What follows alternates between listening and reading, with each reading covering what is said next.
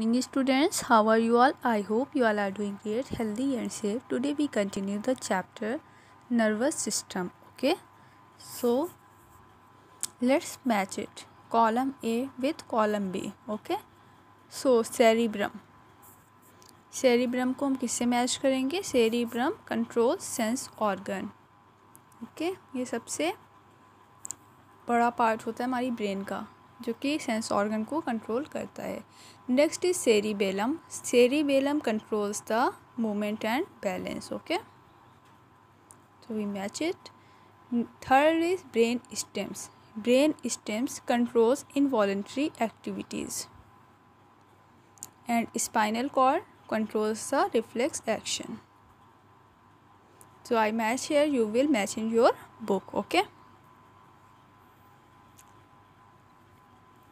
let's start sense organs how many sense organs in your body how many sense organs are present they are I five sense organs okay first is eyes eye ऐसा sense organ है जिससे हम लोग देखने का sense कर सकते हैं, ठीक है?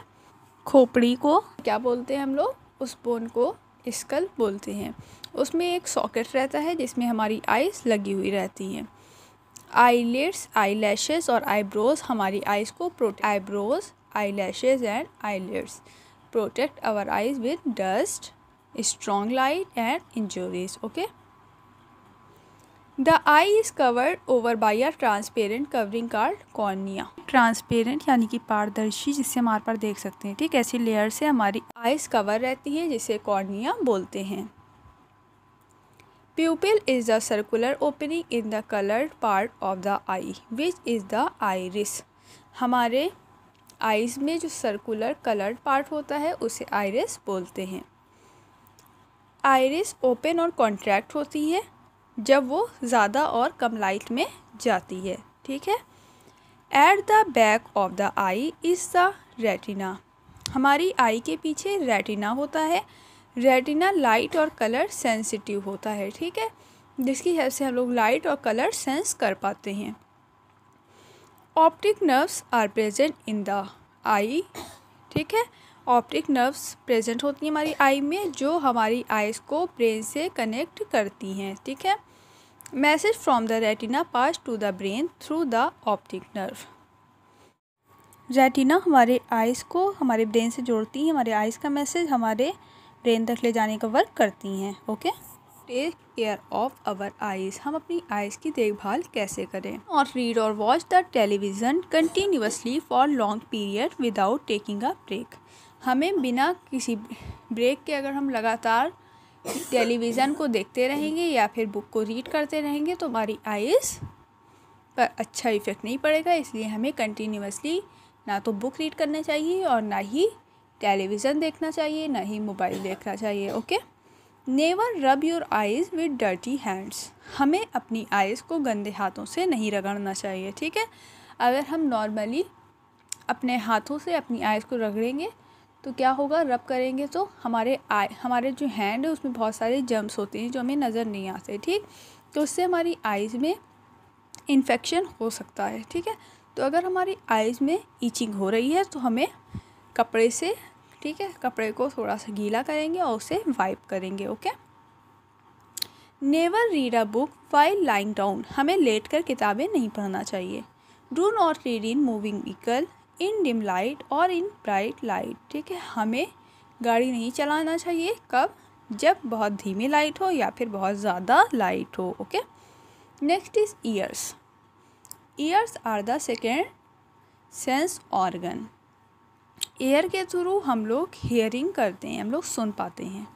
The ear has three parts ear के थ्री पार्ट्स होते हैं outer ear middle ear and inner ear the outermost part of the ear is made of cartilage हमारा सबसे बाहर का जो पार्ट होता है ईयर का, वो कार्टिलेज होता है। कार्टिलेज वो फ्लेक्सिबल होता है, इसीलिए हम उसे थोड़ा बहुत मोड़ सकते हैं। मोड़ सकते हैं ना आप लोग? जबकि आप अपनी बोन्स को नहीं मोड़ सकते ठीक? लेकिन अपनी ईयर्स को मोड़ सकते हैं बिकॉज़ ये कार्टिलेज का बना हुआ होता है ओके ये एक आउटर ट्यूब से जुड़ा रहता है जिसे ऑडिटरी कैनाल बोलते हैं ठीक? जो कार्टिलेज है वो एक आउटर ट्यूब से कनेक्ट रहता है जिसे ऑडिटरी कैनाल बोलते हैं। This leads to the eardrum ये एयर ड्रम से जुड़ी हुई रहती है। The outer ear helps gather sound and funnel it into the internal ear यहाँ पे हमारी साउंड जाती है और फिर ये हमारे इंटरनल ईयर से जुड़ता है। ठीक है? The eardrum vibrates when hit by sound eardrum vibrate करता है जब हमारी साउंड उसे हिट करती है। और फिर ये वाइब्रेशन को इंटरनल ईयर तक पहुंचाता है। From here they are carry to the brain through a special nerves as message for interpretation और यहाँ पर एक स्पेशल टाइप की नर्व होती हैं जिससे हमारा मैसेज ब्रेन तक पहुँचता है ओके सबसे पहले हमारे आउटर ईयर होता है आउटर ईयर कार्टिलेज का बना हुआ होता है ये एक ट्यूब से जुड़ा हुआ होता है, जिसे ऑडिटरी ट्यूब बोलते हैं। ठीक है ऑडिटरी ट्यूब के बाद हमारे एयर ड्रम होता है। एयर ड्रम तक हमारी साउंड पहुँचती है, फिर एयर ड्रम एक फनल के थ्रू हमारे इनर ईयर से जुड़ा हुआ होता है। फिर हमारे एयर ड्रम पे जब साउंड पहुँचती है तो वो वाइब्रेट करता है और वो वाइब्रेशन को इनर ईयर तक पहुंचाता है। और जब इनर ईयर तक हमारी वाइब्रेशन पहुँचती है तो वहाँ पे एक स्पेशल टाइप की नर्व्स होती हैं, जो हमारे मैसेज को ब्रेन तक पहुंचाती हैं और ब्रेन हमें बताता है कि हमने क्या सुना है। Is that clear? Ways to take care of our ears हम अपने ईयर की देखभाल कैसे कर सकते हैं? They do not hear loud sounds हमें बहुत ज़्यादा तेज़ आवाज़ नहीं सुननी चाहिए। जहाँ पर बहुत ज़्यादा तेज़ आवाज़ हो, वहाँ पर हमें नहीं बैठना चाहिए। बहुत तेज़ आवाज़ में हमें सॉन्ग नहीं सुनने चाहिए, ठीक है?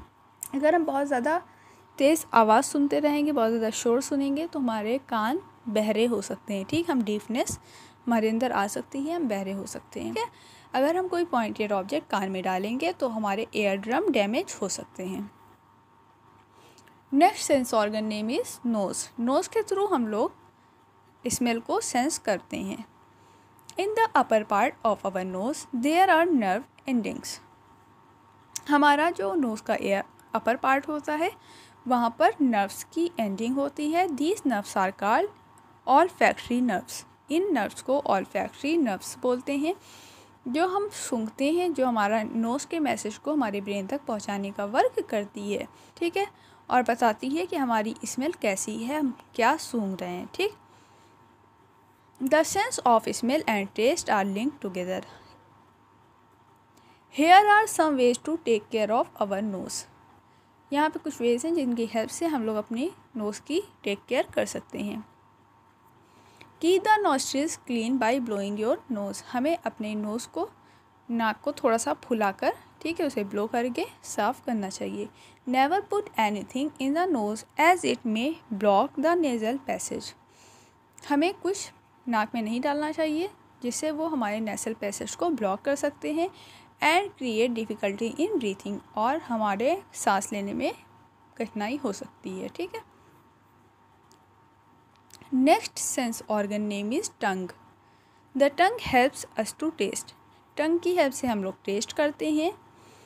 ये पिंक कलर का एक टिश्यू से बना हुआ होता है, जिसे म्यूकोसा बोलते हैं। इसके ऊपर टिनी बम्स होते हैं, जिसे पैपिली बोलते हैं। पैपिली के ऊपर थाउजेंड्स ऑफ़ टेस्ट बर्ड्स होती हैं। ठीक है पेपेली के ऊपर हमारी टेस्ट बर्ड्स होती हैं। बर्ड्स जो होती हैं, वो उसमें बहुत सारी नर्व्स होती हैं। ठीक है, उसमें बहुत सारी नर्व लाइक सेल्स होती हैं। जो हमारे, हमारी टंग को हमारे ब्रेन से जोड़ती हैं। और हमें पता चलता है कि हमारा टेस्ट कैसा है। ठीक? There are four types of taste buds sour sweet bitter and salty sour means खट्टा स्वीट मीन्स मीठा बिटर मीन्स कड़वा एंड साल्टी मीन्स नमकीन।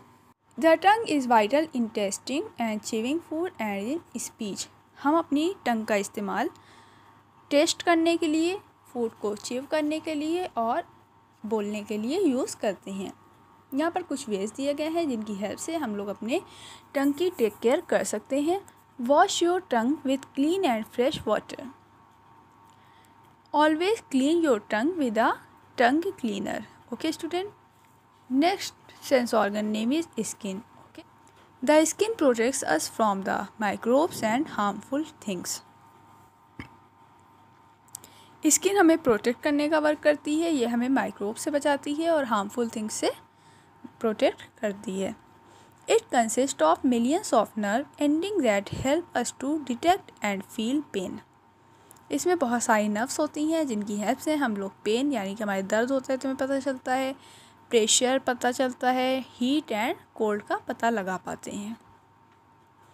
हमें इनका सेंस होता है, ठीक है? किसका सेंस होता है? Pain pressure heat and cold का okay the nerves carry message to the brain the nerves carry message to the brain the brain interprets that information and ask to act accordingly nerves इसमें होती हैं जो हमारा message brain तक पहुँचाने का work करती हैं और जैसा ब्रेन कहता है, जैसा ब्रेन का ऑर्डर आता है, वैसे ही हमारा जो ऑर्गन है वो काम करता है।